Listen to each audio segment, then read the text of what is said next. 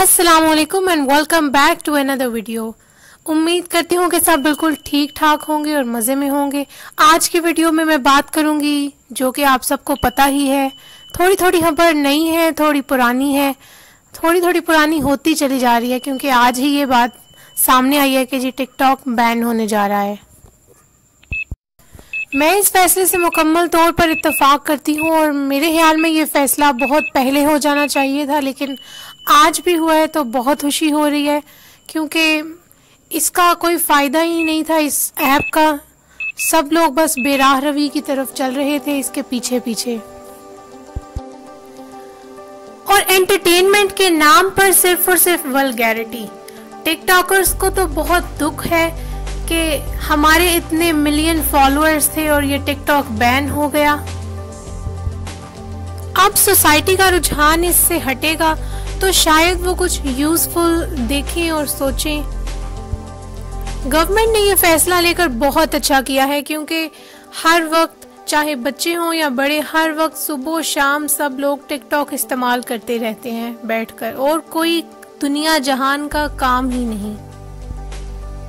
सबसे ज़्यादा negative effect तो इसका बच्चों पर नज़र आता है और वो इस किस्म के टिकटॉक्स देखते रहते थे बैठकर जो शायद उनको देखने भी नहीं चाहिए और उसी को मिमिक करके कॉपी करके टिकटॉक बनाने की भी कोशिश करते हैं बच्चे।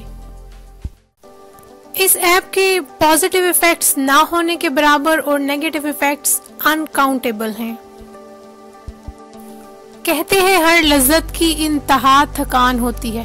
मगर ये तो पाकिस्तानी अवाम है। अगर ये टिकटॉक बैन ना भी होता तो ये इसी तरह बिल्कुल टिकटॉक के दीवाने रहते और इसी को हर वक्त देखते रहते। अच्छा ही हुआ, हस कम जहाँ पाक। मैंने तीन महीने पहले भी नेगेटिव इफेक्ट्स ऑफ़ टिकटॉक पे एक वीडियो बनाई थी। अगर आप वो देखना चाहें तो मैं उसका लिंक डिस्क्रिप्शन बॉक्स में ज़रूर मेंशन कर दूँगी। आप जाकर देख सकते हैं। और मुझे काफ़ी लोगों की तरफ़ से उसका रिस्पांस बहुत अच्छा आया था। बहुत अच्छे अच्छे कमेंट्स किए लोगों ने कि आपने बहुत अहम पहलू को उठाया और बात की। कमेंट्स और व्यूज़ कम थे, लेकिन रिस्पांस काफ़ी अच्छा था और वो भी मेरा मुकम्मल तौर पर अपना कंटेंट था, अपना स्क्रिप्ट था। जो लोग टिकटॉक के एडिक्ट हैं और डेली बेसिस पर उनका काम है कि वो अपना ज़्यादा से ज़्यादा वक्त टिकटॉक पे गुजारते हैं। तो उनको तो ये फैसला बिल्कुल भी अच्छा नहीं लगेगा कि टिकटॉक क्यों बैन हुआ, ऐसा बिल्कुल नहीं होना चाहिए था।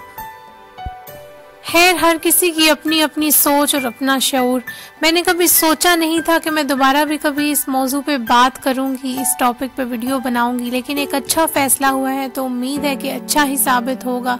मजीद वीडियोस के लिए स्टे ट्यून्ड एंड अल्लाह हाफिज़.